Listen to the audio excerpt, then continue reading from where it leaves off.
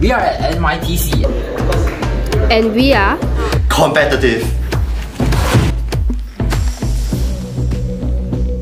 And Here to win.